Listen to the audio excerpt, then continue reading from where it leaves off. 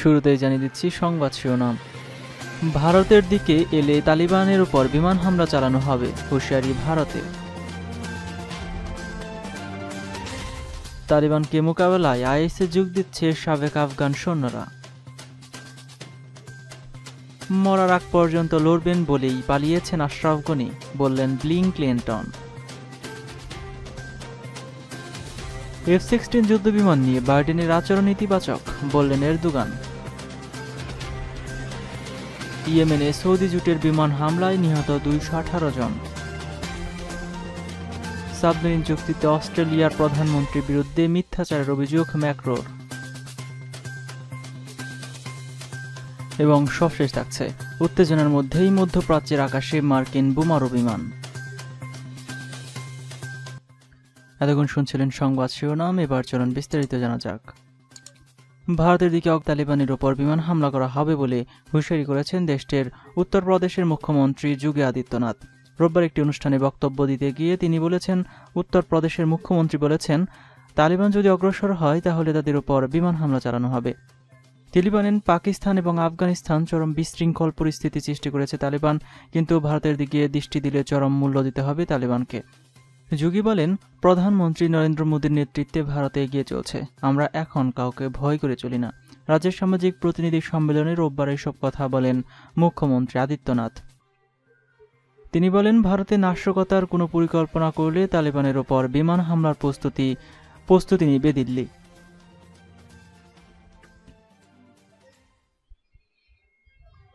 Afghanistani Taliban যোদ্ধাদের মোকাবেলা করতে উগ্রবাদী সংগঠন আইএসে যোগ দিচ্ছে সাবেক আফগান সরকারের নিয়ন্ত্রিত সামরিক বাহিনীর সদস্যরা। রোববার যুক্তরাষ্ট্র ভিত্তিক সংবাদপত্র ওয়াল স্ট্রিট ওয়াল স্ট্রিট জার্নালে প্রকাশিত একটি প্রতিবেদনে এই তথ্য জানানো হয়। প্রতিবেদনে বলা হয়, সাবেক আফগান সামরিক বাহিনীর গোয়েন্দা বিভাগের বেশ কিছু সদস্য আইসে যোগ দিয়েছে। আইএসে যোগ দেওয়া এই সাবেক আফগান সৈন্যরা যুক্তরাষ্ট্রে প্রশিক্ষিত। এতে বলা হয়, আগস্টে আফগান সরকারের পতনের পর সামরিক বাহিনীও ভেঙে পড়ায়। সাবেক এই সৈন্যরা নিজেদের জীবিকা উপার্জন অব্যাহত রাখার পাশাপাশি তালেবান যোদ্ধাদের মোকাবেলা করতে আইএসে যোগ দেয়। আইএসে যোগ দেওয়া সাবেক এই সৈন্যদের সংখ্যা কম হলেও তা ক্রমেই বাড়ছে বলে জানানো হয়েছে খবরে। আগস্টে আফগানিস্তানের প্রশাসনের নিয়ন্ত্রণ তালিবানে নেয়ার পর থেকে আইএস দেশটির বিভিন্ন স্থানে হামলা চালিয়েছে এবং তালিবান যোদ্ধাদের সাথে সংঘর্ষে জড়িয়েছে।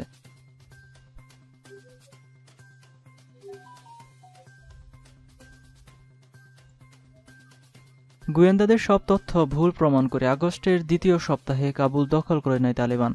এরপর দেশটির প্রেসিডেন্ট আশরাফ গনি আশরাফ গনি পালালে সাবেক সরকারের পতন নিশ্চিত হয়।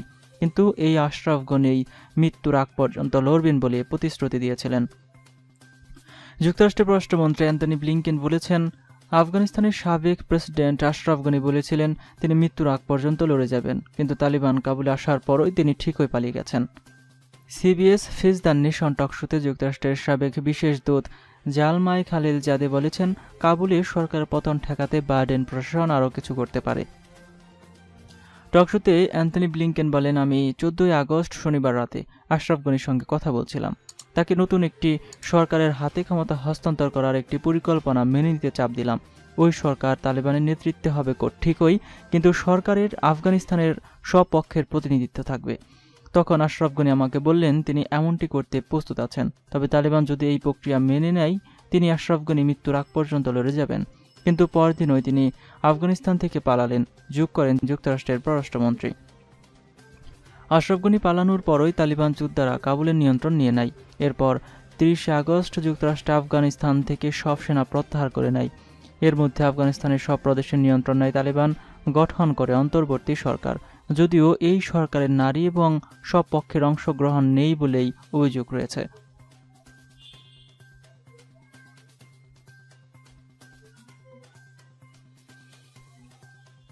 যুক্তরাষ্ট্রের প্রেসিডেন্ট জো বাইডেনের সঙ্গে এফ সিক্সটিন যুদ্ধ বিমান কেনার বিষয়ে আলোচনা করছেন তুরস্কের প্রেসিডেন্ট রিসেপ তাইপ এরদোগান। বৈঠকে এই বিষয়ে বাইডেনের আচরণ ইতিবাচক ছিল বলে জানিয়েছেন তিনি। রোববার ইতালির রুমে একটি সংবাদ সম্মেলনে তুরস্কের প্রেসিডেন্ট এই কথা জানান।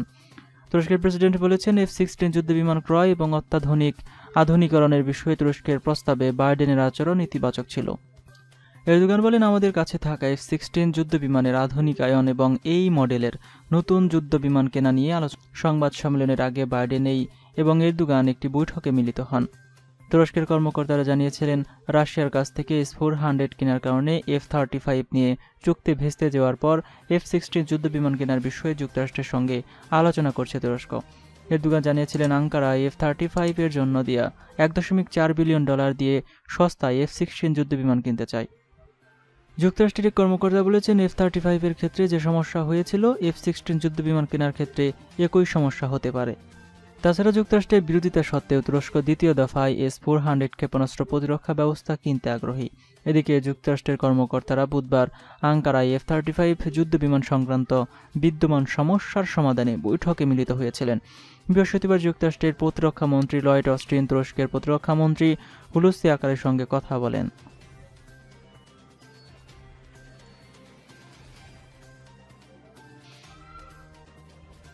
মধ্যপ্রাচ্যের দেশ ইয়েমেনে মারিবে, সৌদি আরবের নেতৃত্বাধীন জোটের বিমান হামলায় দুইশো আঠারো জনেরও বেশি হুতি যোদ্ধা নিহত হয়েছেন।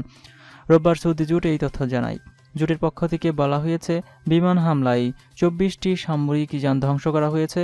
গত বাহাত্তর ঘন্টায় দুই জেলায় দুইশো আঠারো জনেরও বেশি হুতি যোদ্ধা নিহত হয়েছেন। সম্প্রতি ইয়েমেনের মারিফ প্রদেশের রাজধানী মারিফ শহরে সংঘাত বেড়ে গেছে।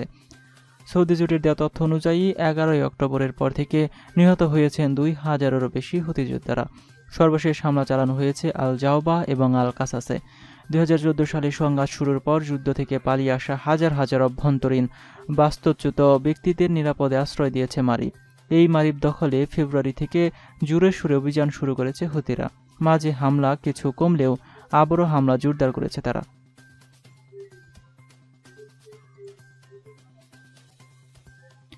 সাবরিন চুক্তি বাতিলে অস্ট্রেলিয়ার প্রধানমন্ত্রী স্কট মরিসনের বিরুদ্ধে মিথ্যাচারের অভিযোগ করেছেন ফ্রান্স, অভিযোগ করেছেন ফ্রান্সের প্রেসিডেন্ট ইমানুয়েল ম্যাক্রো। রোববার ইতালির রাজধানী রুমেক জি টোয়েন্টি জোটের সম্মেলনে অংশগ্রহণের পর সাংবাদিকদের কাছে এই কথা বলেন তিনি। ম্যাক্রোকে জিজ্ঞেস করা হয়, তিনি কি চিন্তা করেন অস্ট্রেলিয়ার প্রধানমন্ত্রী তার সাথে মিথ্যাচার করেছেন? জবাবে ম্যাক্রো বলেন, আমি চিন্তা করি না, আমি জানি।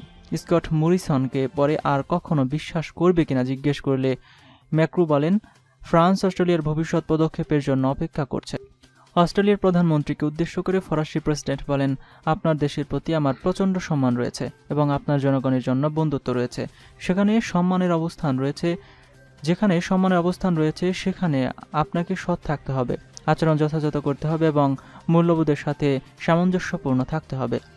এর আগে ইউকি ইউএস এর চুক্তির আওতায় অস্ট্রেলিয়ার কাছে যুক্তরাষ্ট্র এবং ব্রিটেনের পরমাণু শক্তিচালিত সাবমেরিন বিক্রি করতে সম্মত হওয়ায় সেপ্টেম্বরে অস্ট্রেলিয়া, ফ্রান্স থেকে প্রচলিত প্রযুক্তির সাবমেরিন কেনার চুক্তি বাতিল করে। এর পরিপ্রেক্ষিতে ফ্রান্সের সাথে অস্ট্রেলিয়ার সম্পর্কের উত্তেজনা তৈরি হয়। ফ্রান্স বিষয়টিকে তার পিঠে ছুরিকাঘাত হিসেবে বিবেচনা করছে। এদিকে সম্পর্কের উত্তেজনার পরিপ্রেক্ষিতে অস্ট্রেলিয়ার প্রধানমন্ত্রী স্কট মরিসন দুই দেশের মধ্যে সম্পর্ক আবার স্বাভাবিক করার বিষয়ে কাজ করছেন বলে জানা গেছে।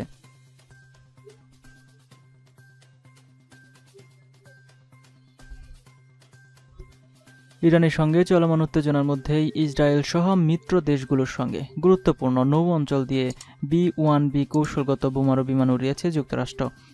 রোববার মার্কিন বিমান বাহিনী এমনই তথ্য জানিয়েছেন। পারস্য উপসাগরের শুরু মুখ হরমুজ প্রণালীর উপর দিয়ে শনিবার বি ওয়ান বি ল্যান্সার বোমারু বিমান উড়াল উড়াল দিয়েছে। বিশ্বের মুঠ তেল বাণিজ্যের বিশ শতাংশ এই প্রণালী দিয়ে পরিবহন করা হয়। এছাড়া লৌহিত সাগরে শুরু করে দেওয়ার বাপ আল মানবদেব প্রণালী এবং মিশরের সুয়েসকালের উপর দিয়েও এই বিমান উড্ডয়ন করেছে। সম্প্রতি বছরগুলোতে হরমোসরগুলোতে হরমোস প্রণালীতে বিভিন্ন তেলবাহী জাহাজের উপর হামলার ঘটনা ঘটেছে। এতে ইরানকে দায়ী করা হলেও শিয়া সংখ্যাগরিষ্ঠ দেশটি তা অস্বীকার করেছে। ইরান এবং ইসরায়েলের ছায়াযুদ্ধের মধ্যে লৌহিত সাগরে বিভিন্ন সময়ে হামলার শিকার হচ্ছে তেলবাহী জাহাজ। যদিও ইরানের পরমাণু কর্মসূচির কয়েক দফা ইসরায়েলি হামলার লক্ষ্যবস্তু হওয়ার পর প্রতিশোধ নেওয়ার ঘোষণা দিয়েছে তেহরান। মার্কিন বোমারু বিমানের সঙ্গে বাহরাইন মিশর, সৌদি আরবের যুদ্ধ বিমানও ছিল। তবে এ নিয়ে ইরানের কোনো বক্তব্য পাওয়া যায়নি। ইরানি সংবাদ মাধ্যমেও কোনো প্রতিক্রিয়া পাওয়া যায়নি। এর আগে ইরানের সামনে শক্তি প্রদর্শনে সাবেক মার্কিন প্রেসিডেন্ট ডোনাল্ড ট্রাম্পের আমলেও পরমাণু বোমা বহনে সক্ষম বি ফিফটি টু বোমারু বিমানের মহড়া দেখা দিয়েছে।